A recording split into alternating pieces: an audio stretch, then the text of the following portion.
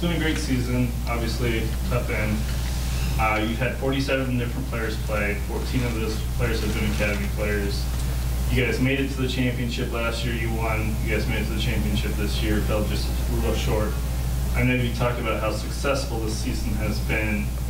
Um, what do you want to see for this? This, I guess, this is a two-part question. What would you like to see for this team moving forward? What would be your goals for next year? How do you see this team progressing? Um, I really don't um, change or rethink anything that uh, we uh, we as a staff, as a club, uh, assess on this situation just because we lost or win that final. Uh, it's been incredible in in the the number of people that start, uh, how many young players consistently played. Um, then we can talk about the content of soccer. I mean, we can or the metrics uh, that uh, we internally look a lot, the way we arrive in those areas and, and how consistent and diverse one. so, in a lot of aspect, win or lose the final, that's a change that has been incredible. Uh, if we're able to come uh, anywhere close to that next year, uh, we uh, the club. I know that the club is already doing the right thing, but the the purpose of a platform like this in a MLS Pro franchise uh, is is reached. Meaning, we, we we think we did everything we could in order to provide better uh, uh, academic kids to the next level, and this is what it's this platform is about. So then you can look more in depth of the style of soccer that is being played in order for develop the the, the next uh, uh, good soccer player that in this country. But but already those experiences and those data and those wow, it's uh, it's insanely uh, positive for us and. Uh, even not making the playoff or, or even losing against Orlando on the it would be the same. It's just uh, on top of that, we were able to give them a few um, playoff scenario ge- games to deal with, and fantastic. But even f- if we finish uh, just bef- behind the, the playoff spot, it, it would still have been an amazing season. Kind of building on that question, how do you feel like you've developed as a coach this season, and what would you like to see next in your next phase of or next year? tremendously because we had to rethink. Uh, uh, uh, you guys know, but if you look at the details and the data of uh, what the Zawadzki and Parente or Jacen or Quinton were at only athletic wise. Forget about the the performance and the tactics and the goals and the whatever. Only athletic wise, those guys they were animals, animals and uh, and now this year what we've been able to do with 16 17 years old uh, and rethink a few stuff because they don't have the same weapons uh, like I said even finish sixth in the league the way we have this year it's it's way more uh, than than winning the title last year. Noah took the loss particularly hard saw you talking to him after the game. What was your message to Noah? Um, it's tough because um, um, there's a couple of guys on top of incredible um, bunch of guys. There's guys that have an extra heart, and um, it's it's tough because they, they care too much. I heard you say um, you know, your job's only soccer, but soccer is only your whole life too. So when you say they care too much, uh, can you kind of give us a little bit more insight of just like, uh, you know, what you saw there?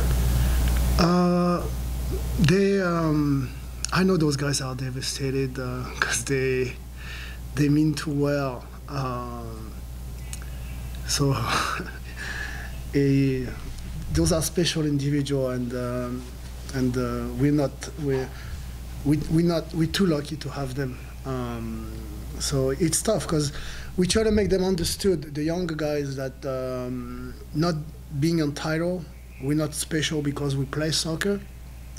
We're special because we're together and we're lucky enough to to show gratitude and and and and have a common purpose and a cause together. And we try to make everyone understand that uh, if you look at the news today, putting your TV on is, is kind of scary. So, so when you're lucky enough just to play soccer and, and play a final, don't don't waste it for stuff that are in your control. And so we try to make them understand uh, how important this is and to consider that relax, it's just soccer too. Um, but like I said, the, the, there's a bunch of special individual and uh, and they, they care too much. Coach, with uh, Coach Nancy being in his first year and you'll be able to have a full off season with him, what's it like having a coach like him being able to throw ideas off of him with his style of play? well, I, uh, was looking for a mentor for a while. I've been, uh, I told the guys I've been, uh, I, I, left home for soccer. I was 14 years old. Uh, and for 30 years, I was looking for somebody that would inspire me uh, in terms of uh, like top to bottom, from A to Z as a coach. And this is Wilfried Nancy. I've I've been coached and led by player coaches in in uh, La Liga, in League One, in Premier League, and Wilfried is by far the best, whether it's tactical content or, or management or improving people, not only individual. So you check all the boxes that you're looking for to see in a leader, and uh, he's by far uh, way ahead. So being uh, being uh, watching him every day uh, this year has been a, has been a blessing, and I feel really really grateful. Do you think next season with the core that you have here with like Coleman and Marco and Noah, you might lean on him a little bit more coming next season? If I what, sorry? I didn't understand. Will you lean on like your core that you have, you mm -hmm. Noah, Marco, and Coleman?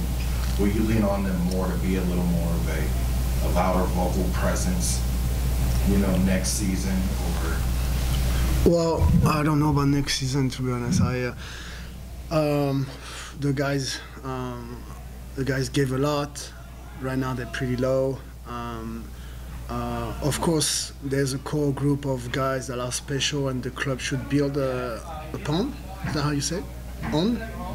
Uh, but um, being too specific on the, uh, I don't know yet. It's um, there's there's other considerations to, to take, and uh, uh, what what we've been asked Marco to do this year, I'm telling you, beside the the soccer is insane, and it's draining. So uh, I, I don't know. We'll we'll see. What do you got to say for all the fans this year? You know, it's short. You know, you came up short, you know, tonight, but the fans being there for you. What, what's the message to the fans? So I I've been. Um, I'm sure we all have been, but I've been that kid that his dad uh, my dad took me on the stadium. I was uh, 10 years old with my little sandwich to see my, my local uh, Lyon team. Uh, it was for me the highlight of the week and my my dad's highlight of the week.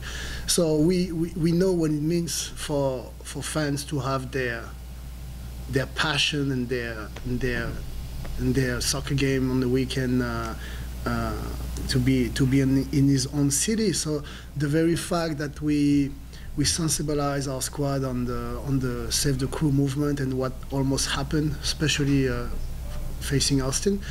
We knew that it was really special. This is why you're asking why uh, Noah took it that way. It's just uh, I've been telling those guys when they see this, they, they they wanted to jump over the wall, like they.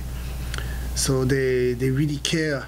They really care because they know that we should not respect the fan. The, the fan are soccer. Like they're literally what makes soccer what soccer is. So it, it's not about respect. Is we owe everything to the fans.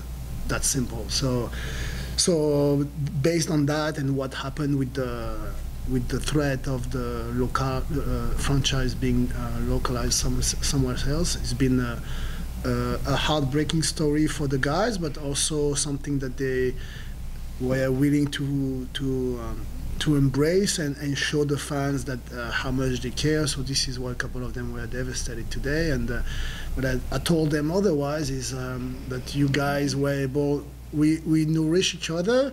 So the fact that they helped us that much, we also gave it back on giving them a good moment. I think so. It's a it's a win-win story, and there's nothing to be sad about. Coach, you go early in the second half, the PK, uh, and then Austin just turns it on. Uh, they get three in the second half. What did you see on your end that just allowed Austin to kind of dominate the second half? Uh, so we could have made a couple of better decisions to score the second goal, uh, but uh, I was um, I was uh, I was sure I'm gonna be a little bit pretentious, but I was sure that we were gonna deal with the transition uh, better, and that, the one that leads to the PK because um, it was pretty much uh, what Austin was really looking for. Um, we were a little bit naive in that sense. Um, um, even though I don't think it's a PK. But it's a different discussion. Uh, and then, yeah, you try to push. Uh, um, you try to push, and uh, of course you get exposed. So no regrets after the. A little bit of regrets leaning one nil and, and getting caught that way, but then no regrets. You try to you try to push, and of course you're gonna get exposed.